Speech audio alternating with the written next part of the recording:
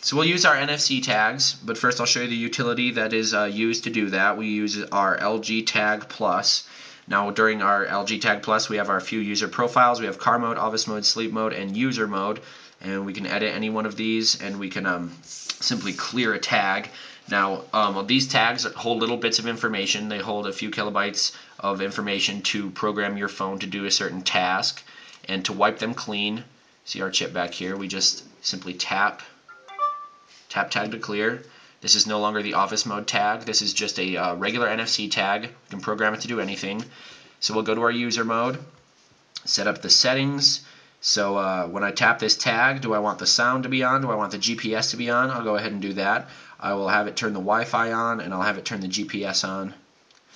And we can also start an application we want to launch.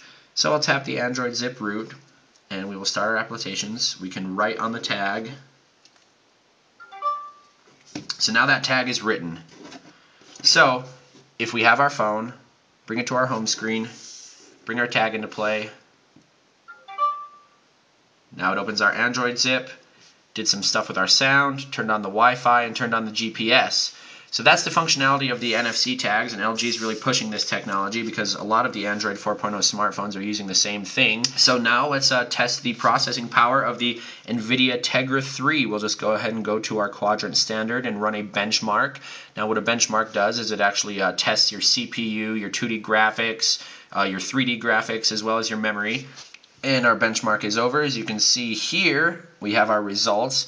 Our device got a 5019 score, which is just incredible. You can see it beat out the HTC One X as well as the Asus Transformer Prime.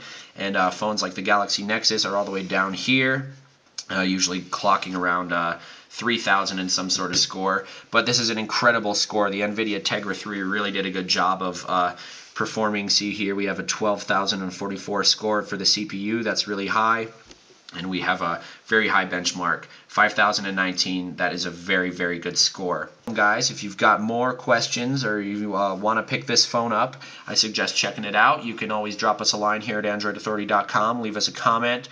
Remember to subscribe to our channel for more info about this phone and other great phones coming out as well as some, some comparison videos and uh, other great stuff to come.